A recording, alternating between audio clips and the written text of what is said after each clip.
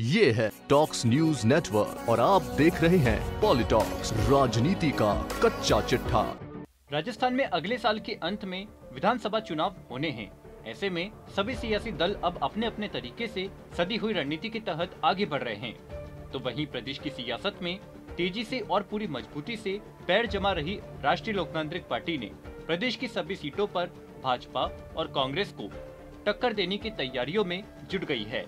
यही कारण है कि पार्टी के राष्ट्रीय संयोजक एवं नागौर सांसद हनुमान बेनीवाल, पार्टी की मजबूती और पार्टी के उद्देश्यों को पूरे प्रदेश में जन जन तक पहुँचाने में जुटे हुए हैं और प्रदेश के अलग अलग विधानसभा क्षेत्रों के दौरे कर रहे हैं। इसी कड़ी में सांसद हनुमान बेनीवाल ने अपने संसदीय क्षेत्र नागौर की जायल खेमसर व मेड़ता विधानसभा क्षेत्र के दौरे पर रहे।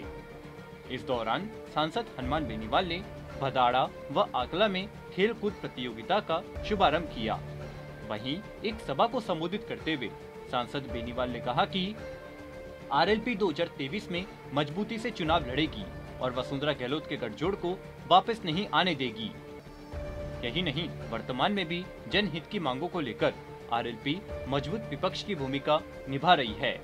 आपको बता दें, कार्यक्रम को संबोधित करते हुए सांसद हनुमान बेनीवाल ने कहा कि खेलों को खेल की भावना से खेलने की ज़रूरत है। वहीं जो हमारे परंपरागत खेल है, उनकी तरफ़ भी हमें रुझान बढ़ाने की ज़रूरत है। जिन खेलों में आज हमें विश्व में परचम लहराने की ज़रूरत है, उनकी तरफ़ भी ध्यान दिया जाए।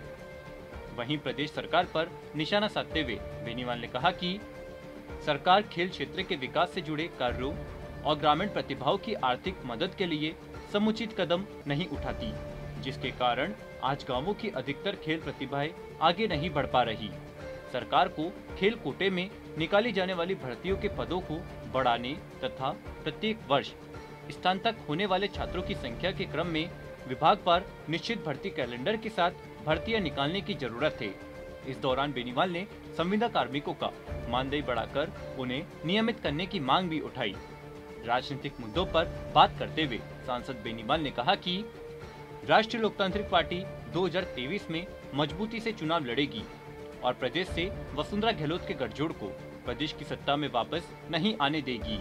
आज भी राष्ट्रीय लोकतांत्रिक पार्टी प्रदेश में विपक्ष की भूमिका निभाते हुए जनहित की मांगों को उठा रही है।